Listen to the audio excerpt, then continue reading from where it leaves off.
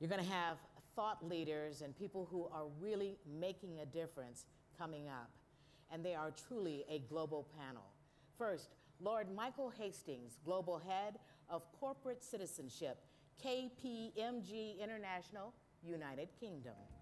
Governor Tim Paul Pawlenty, President and CEO of Financial Services Roundtable. Richard Reeves, Senior Fellow, Economic Studies at Brookings Institute in Washington, D.C. Gan Hutagt, he is CEO of ARD Financial in Mongolia. And our moderator, pioneering broadcast journalist, Christine Ockrent of France.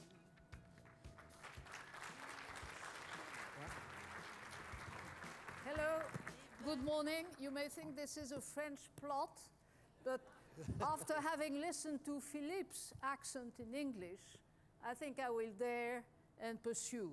It's a, indeed a, a privilege and an honor for me to be with you here in Atlanta this morning with such a distinguished panel, and we'll try actually to follow up on Philippe's remarks as to the better ways to make our digitized world another uh, step forward in terms of inclusion.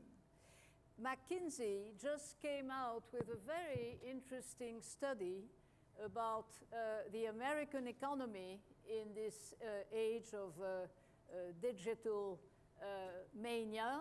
And it actually shows that only 18% of the whole American economy is truly impacted by the digital revolution. And those sectors which employ the most people, like health, agriculture, construction, are actually far less uh, digitalized than, men, than other sectors of the economy. And so the idea is to, this morning, is to try and understand uh, how to avoid a growing gap between the haves and the haves not, but also between the haves more and the haves less. So I would like to try and ask our panelists maybe to give us their insights in, in a very brief manner first, and then uh, we can have um, a discussion uh, which I hope will be vibrant and positive. So let me start with you, Governor. Uh, you've been in politics, you're now in finances, so you have a broad spectrum, but a little bit, how could I put it, uh, on the upper stage of things. So how do you see the digital age uh, actually making those gaps worse or, on the contrary, lesser? Well, first of all, thank you and good morning. It's a delight to be with you and delight to be part of Operation Hope's uh, Global Forum and to be part of this distinguished panel. We've asked in, in, in, just two minutes to try to summarize some overall thoughts in this regard. Some of the themes of this gathering is how do we improve inclusion and empowerment. And I really am a digital optimist, and I like Google's phrase, or one of Google's phrase, which is the future is awesome. So, as you think about the powers and perils of technology, at least as applied to financial services and financial empowerment and inclusion, I think it's very promising. We're not where we want to be yet, but think about these basic uh, offerings from technology. Um, more and more, and hopefully soon, everybody can participate.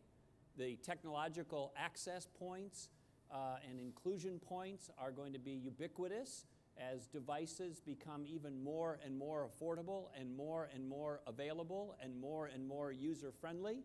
So I think we are going to continue to make great strides towards access to financial services. And frankly, the markets are shifting dramatically towards people wanting to access their financial services remotely or digitally, particularly for younger generations. So that on the inclusion side of it, I think it's extraordinarily promising price barriers reducing, access to technology and devices reducing, availability of services and user friendliness expanding exponentially. But to close on this, this part of the discussion, it doesn't then address by itself uh, the financial empowerment part of the equation. Because you can have a great app or a great website that's user friendly and have access uh, to the platform or the portal, but if you don't have resources to then deploy, uh, it doesn't really advance the ball. So it leads back to another discussion around how do we improve financial capacity and financial empowerment for those who have less and those who are underserved and disadvantaged. Thank you. Uh, Lord Hastings, uh, my lord, my lord, uh, you are the head of the global uh, uh, diversity services at uh, uh KPMG. Uh, you've also uh, done an extraordinary job at the BBC to see to it that the British public media sees to better inclusion of many minorities in, in your country. how do you see uh, the, these digital gap, do you see it actually increasing in spite of all the good words by the GAFA, the big American companies? Well, thank you. And first of all, I'm tempted to say back my French partner on the other side of the channel. Um, but I'm actually global head of citizenship for KPMG, not, not diversity. But you know, I hope I reflect diversity in my being as well. But uh, thank you for the supplementary title, which I, I don't deserve. Um, I think there's a very interesting chart which is on Twitter this morning, and uh, one of the first things I always do in the morning is have a quick flick through what's just coming up. And the chart shows uh, it's a global map as to internet usage. And it goes from the high end of internet usage, which is North America and Northern Europe, to the bulk of the rest of the world. So the high end usage is at 60 to 80 percent. And it was a snapshot taken yesterday of how many people are using the internet and therefore accessing, accessing digital services. And it goes down to around about 20% across the whole, the vast bulk of Africa, and around about 30% in Latin America. And then when you come to parts of Asia, with the exception of Singapore, which is up in the, the levels of North America, Europe, and Australia, which is up in the same levels, you're basically at 35 to 40%. And I remember sitting recently, because this is a global forum, this isn't a, a US forum, you, which is why I know you wanted a, a British voice, and so you could remember. we have two, actually. Well, he's a French. Uh, exactly. And people here want to learn how to speak English, which is, after all, the language you try to speak. But anyway, so I'll help you with that afterwards. Class is outside in the hall. Um, no slang, all right? No slang, no slang. And. Uh, but there's also, I sat in a very interesting conversation in Los Angeles amongst a whole group of technocrats who were going on about their wonderful digital applications that they had. And everybody had piles of phones and piles of iPads and piles of everything else. And exactly at the same time, this is just a year ago, I was on a page in Time magazine which pointed out that 70% of the world's population has never touched the keyboard of a computer. So we have to keep this in perspective. Now, the first speaker referred this morning to the fact that actually there's a great lesson to be learned from the Kenyan M-Pesa experiment, which has now become an embedded economic system. Let me, let me explain that for the, the sake of the folk who are here. So I wear two hats. I'm with KPMG, who pay the bills, and I'm very grateful to them. But I'm a trustee, which is a non-paid role, with the Vodafone Global Foundation, which used to be, Verizon used to be part of Vodafone, and they sold that out last year. So the Vodafone Global Foundation has contributed over a billion dollars in the last 20 years to economic advancement around the world. One of the best things we did was the creation of the M-Pesa mobile phone app network, which allows people to do financial transactions on their mobile phone. 70% of people in Kenya have a simple Nokia type traditional phone, not a smart, wonderful, all singing phone. And they do their banking, insurance, purchasing, trading, even health information through the mobile phone. And I looked at some calculations, interestingly, that KPMG had done just a couple of weeks ago on assessing the impact of what Safaricom, which is the Vodafone uh, version in Kenya, had led to. It has led to over $1.5 billion a year of value to the Kenyan economy. And nearly, nearly 60% of the entire GDP of the country passes through the mobile phone. Now, that has empowered people in disparate and, and very often village communities to and, feel. And particularly women. particularly women, to feel connected to financial services. It's a wonderful model. It operates in eight countries now. The truth is, we don't even have it in Europe and North America. The banking systems of Europe and North America will do everything possible to strangulate it out of existence because it really releases the poorest of the poor to access the basic services they need. And my final comment to that is if there's a big challenge we need to bring to the banking system overall, for which we're all very grateful, but the big challenge we need to bring is that when it comes to the poorest communities in the world, and very often the poorest communities even in our own countries, the crippling high interest rates that are applied to the poor are grossly injustice compared to the fact that the wealthy the wealthy can get access to money for, for almost no interest charges at all, but the poor are paying upwards of 30%. That is completely unacceptable. Thank you. Let me now turn to uh, you, Gan. Uh, you come from a very unlikely part of the world uh, to take part in a discussion about the digitized world. You come from Mongolia, Ulaanbaatar to be precise. And yet, uh, from that sort of former communist system economy, you've managed to, to jump ahead and actually start a whole new way to get people involved in a sort of mm. crowdfunding mm. for a new bank. So mm. tell us about that. Well, it, it was a quite a long process, um, I must say. Uh, I started uh, to work on the stock exchange in 91.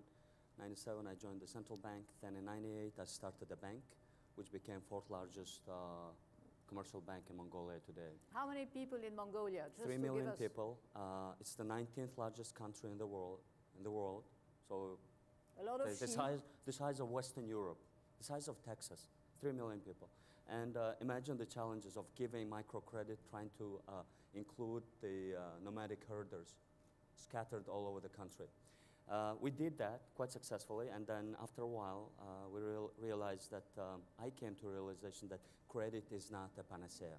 It cannot solve societal issues alone. We need uh, much broader um, involvement uh, and uh, focused uh, intervention by the government, which is, you know, taking care of the health sector, taking care of the education, providing infrastructure, communication, so that people can have access to opportunities and can take care of their destinies. And um, so I did a little bit of politics by joining the Ministry of Finance. And all this allowed me to get a big public exposure, the reason I'm saying it. I have uh, quite a engaged followers uh, on Facebook. You mean you're around the star half a million, of, half a million you're the people. star of Mongolia. Well, I was I was trying to avoid that. But half a million people um, engage in a conversation with me on a weekly basis on Facebook alone. That's About 100,000 followers on Twitter in a country of 3 million people, half of whom are kids. So uh, the penetration is uh, uh, quite big of mobile phones. With 3 million people, we have 5 million telephone numbers uh, outstanding. So, and again, you know, half the, of the population is um, below the legal age. So you can imagine the penetration. Um, then uh, in December of uh, 2015, a month ago, the government decided to privatize a state-owned asset. And because I was sitting home and didn't know, you know, I was sitting on the Facebook checking out my Twitter, I just sent out this tweet which said, okay, if there will be 1,000 people who are ready to take part in this privatization along with me, uh, it was Thursday. Um, by Monday, I will take part in this privatization. I had 2,700 people fill the application and wire the money, wire me the money over the weekend using their mobile and devices. how much profit did you promise? I, I, I didn't promise anything. I couldn't promise anything. The government just gave us a week to respond to this privatization. We were not successful in the end, but what we were, I was successful in the end was that it demonstrated to me the power of social media.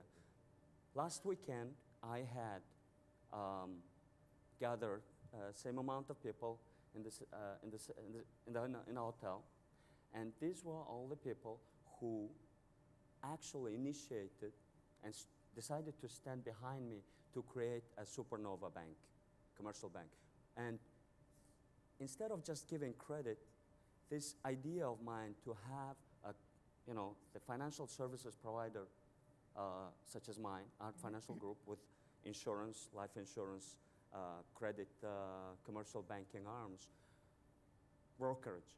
Um, instead of just giving credit, I decided uh, three years ago to give ownership of my institution to the people, to the very people who have been charged with uh, you know, super high interest rates for all their lives and had no share in the spoils. Now, um, And there was no political obstacle. There was no well, uh, lobby the good the thing is that Mongolia is still a democracy. And because the people can make choices, and if right now I have on my closed Facebook group, uh, founders group, I have 10,500 people as of today in the morning. And that's already a political power. And we have elections coming in six months. Who can say no to us if we come united with the same goal and the, to, to, to, uh, uh, with the same vision and say, okay, enough is enough. We want to have the most objective, transparent uh, commercial bank that we will go and get the services from, and we will again, uh, you know, appoint the board of directors, uh, hold them accountable, and uh, share share in the profits. Richard Reeves, do we all have to go to Mongolia to share that sort of uh, paradise of uh, digital access and uh, democratic access? Well, I'm, I'm happy to go there if, uh, if I can guarantee I'll get 100,000 new Twitter followers um, as a result of doing that. So uh, I'm the second uh, British accent that you're uh, hearing. Uh, I must say one of the reasons I moved from um, Britain to the US three years ago was um, so that I would stop having to say your lordship. Uh, to people, I don't, I don't, do, you, do you need, can I get you a, do you need water or Yeah, anything? shoes, shoes. Anything I can do for you? And, and Amer- Amer- Americans are fascinated by the royal family, uh, the monarchy. And Downton Abbey. and Downton Abbey. God help us. and I and they, say, they always come to me and they say, it's the, you know, the royal family, and they're like, "Are you excited about the new baby?" And first of all, I go, "What?" And then I go, "Oh, you're talking about the royal baby." Um, and then like, the, you know, Kate's having a second baby, and I'm like, I try to escape from this stuff, and it's all very well for you. You're not ruled by these people. You know? Um, so, as I'm sometimes in my day job, I work on intergenerational mobility, the American dream. So, I won't talk much about that, but I encourage you to, to look at the work Brookings is doing on this. And in particular, uh, as, as we're getting numerically competitive, I have a YouTube video that's been watched by half a million people, um, which uses Lego bricks to look at rates of mobility. And I have a bet with a friend that I can get more views than him. So please watch it on as many devices as you can find. Um, one of the headlines from that actually is that um, rates of upward and downward mobility vary dramatically by race in the US. So, absolutely, bottom line, one of the findings is that if you're black and born poor, you're twice as likely to stay poor as an adult as if you're white. And if you're black and you're born in the middle, you're twice as likely to fall as if you're white. That's just one of the findings from the, the work we're doing. Um, I should say, however, that having moved here, I have a green card, I have an American wife, American kids. I was born on the 4th of July. Pretty good. Uh, and It's called destiny. uh, and I've just applied. I've just applied for U.S. citizenship um, about as early as I could. So I will no longer have to say your lordship. Oh, no, you still will. It's Well, it depends what I do with the other passport. uh, I had to wait till after Christmas because it it's cost a thousand bucks. It turns out, uh, which is quite steep. And I said to my kids, "Do you want an American dad or presents for Christmas?" Uh, didn't take long. I'm going to I'm to make three very brief points. First is I think in a lot of these fields we're moving from questions of access to questions of skills, and in particular navigational skills.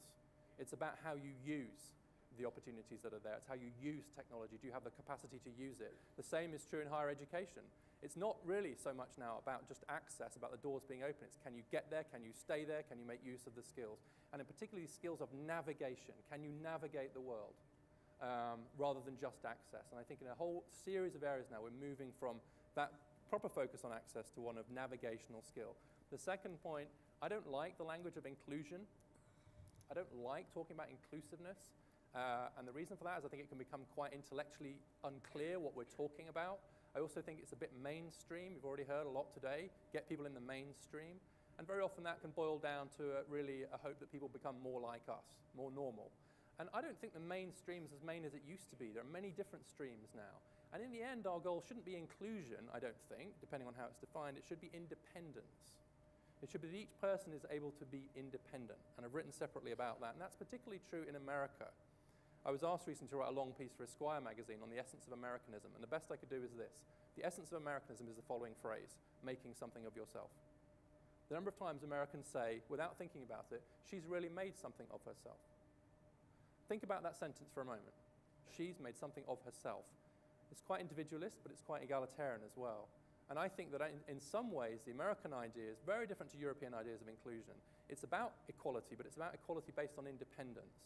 Jean Jacques Rousseau, I have to quote someone French now, um, said that Please. lacking freedom, the definition of lacking freedom was living at the mercy of somebody else. Whether that person's benevolent or not, living at the mercy of somebody else.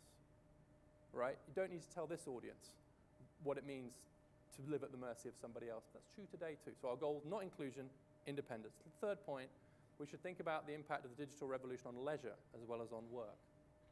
There's a lot of discussion about how it's changing the workplace. Mm. It has also dramatically changed leisure and is doing so very rapidly.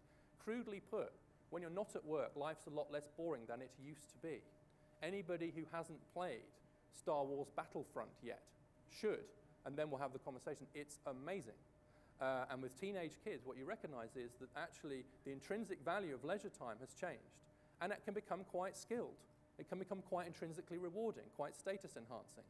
And so one of the, and I think we have to accept that and say that's a good thing, but it might change how we think about the relative value of work, quote, versus leisure. And so actually we have to think about the possibility of a world in which some people are faced with a choice between a high-skilled leisure time or a low-skilled job. And it's not entirely clear to me that people should necessarily choose a low skilled job and a low paid job over relatively high skilled leisure, which has been enhanced by technology. So we need skills, but for independence, not inclusion. And we might to think about the quality of work because the quality of leisure, helped by technology, is getting a lot better, and we should confront that challenge too. But what about the disruptive uh, dimension of, of having uh, the, the digital uh, world invade not only our leisure, our ways of life, but also the very uh, notion of work, because there will be more robots, more automation, lots of jobs will actually disappear or will have to change dramatically.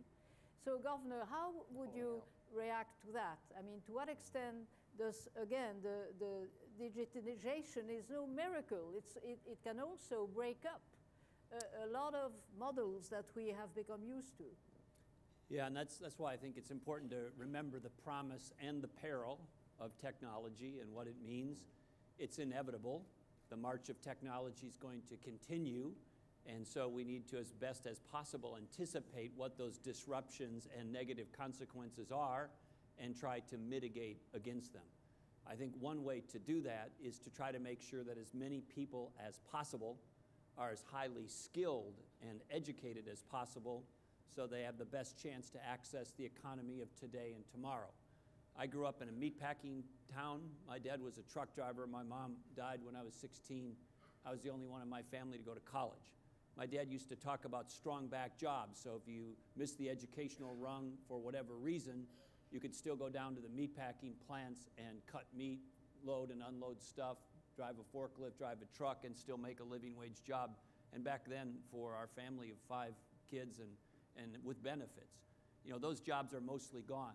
So if you don't have a skill or an education that allows you to access the economy of today or tomorrow and navigate, uh, to use uh, uh, Richard's term, uh, platforms and portals and educational systems and life more broadly, uh, it gets very tough for you very quickly.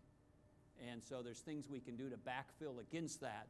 But the first line of defense against can you navigate disruption? Can you navigate the fallout of things being replaced by technology and robots and automation is do you have a supplementary skill that allows you to latch on to a, a more stable or a more emerging part of the economy?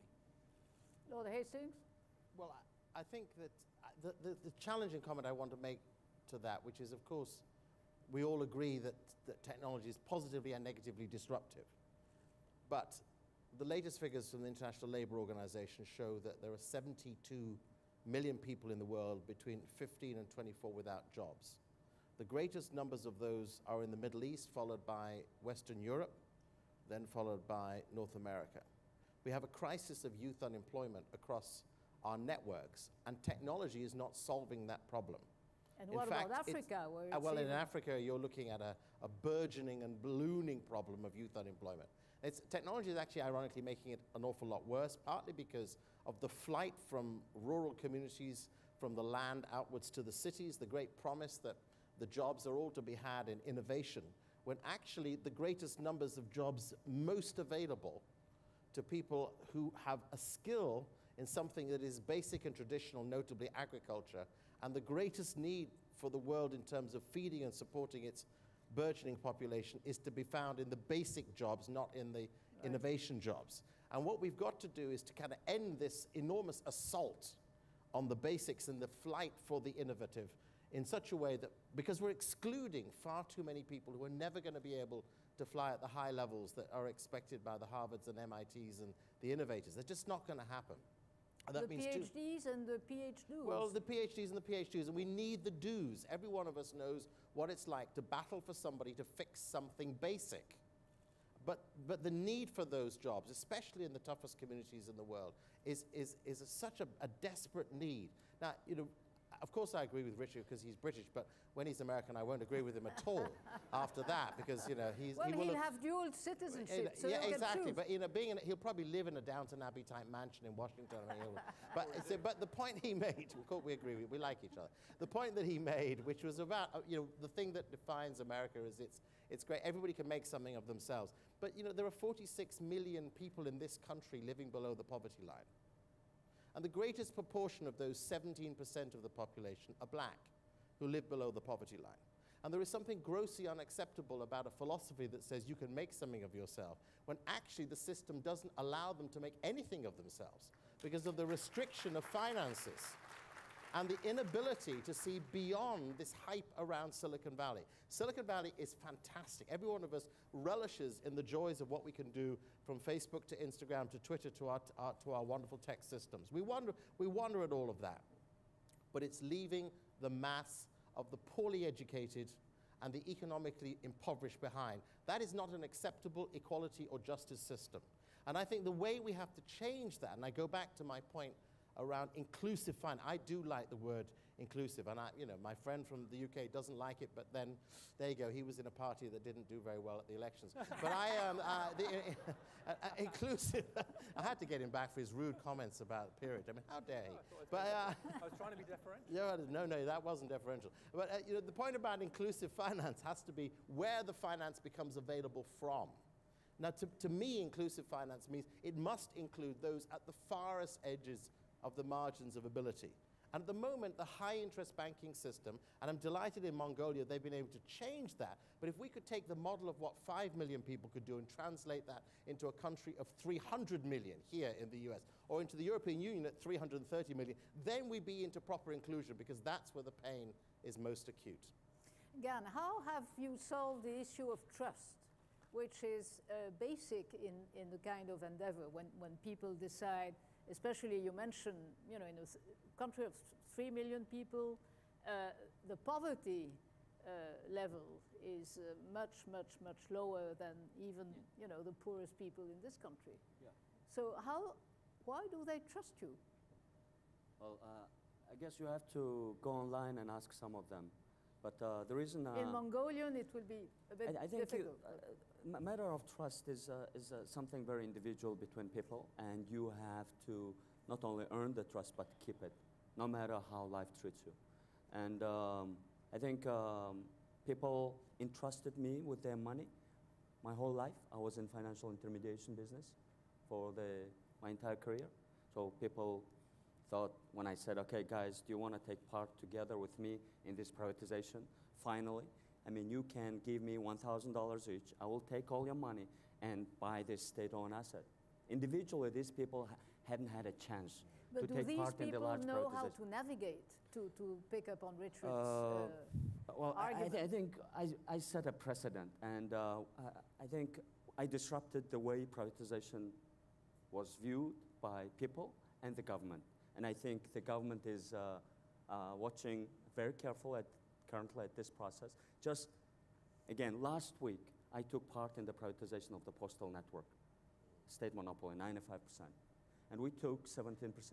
Again, I'm a, I'm a public company, and I took the people's money and said, okay, we need the postal services uh, because of the logistical issues that we face as a country. And again, um, we democratize the privatization. We are democratizing, democratizing uh, the banking because I think ultimately the people who receive services from banks need to reap the benefits and be real owners, you know. And I, I, And that's true all over, It is. indeed. Uh, we've come to the end of uh, uh, this brief discussion. Uh, I will ask you just uh, to, to give us, each of you, one key word. If you were to describe what might happen in the next five years when it comes again to using the digital to actually narrow the various gaps in our societies. Lord Hastings, I'll start with you. One word, please. Empowerment. Okay, Governor, Progress. Richard, Navigation. Towards investor nation. Very good. Thank you very much to all.